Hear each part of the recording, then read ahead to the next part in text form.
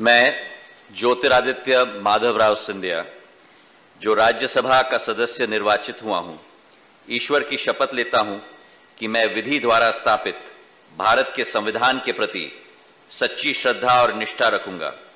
मैं भारत की प्रभुता और अखंडता अक्षुण रखूँगा तथा जिस पद में को मैं ग्रहण करने वाला हूँ, उसके कर्तव्यों को, कर्तव्यों का श्रद्धापूर्वक निर्वहन करूँगा।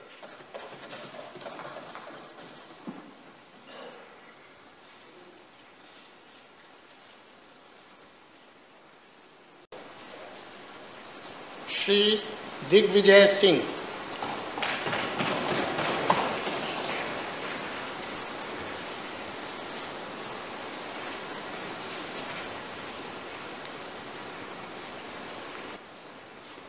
मैं दिग्विजय सिंह जो राज्यसभा का सदस्य निर्वाचित हुआ हूँ, ईश्वर की शपथ लेता हूँ कि मैं विधि द्वारा स्थापित भारत के संविधान के प्रति सच्ची श्रद्धा और निष्ठा रखूँगा।